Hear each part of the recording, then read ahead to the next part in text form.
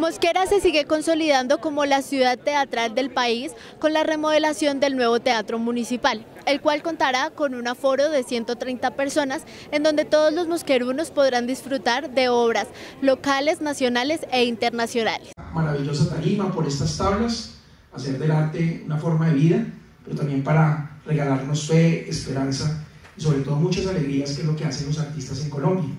Una profesión que es muy difícil, que les toca muchas veces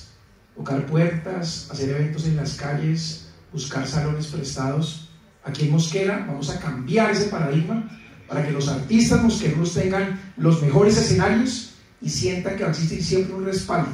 no solo de la administración, sino de todo el pueblo mosqueruno, que desde hoy les va a abrir las puertas para apoyarlos, para decirles que confiamos firmemente en lo maravilloso que ellos hacen. Quiero agradecerle como siempre a muchas personas que se han sumado para este gran sueño. Un sueño que parecía hace poco tiempo un imposible. Este teatro, les quiero contar, estaba a puertas de caerse. Tenía un techo que ya tenía unas,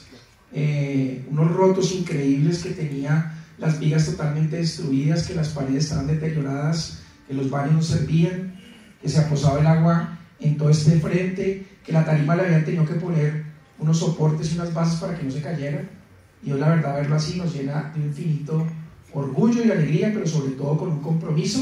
de cuidarlo y protegerlo para que todos los días lleguen más escenarios como este a nuestro verdadero campo de gigantes.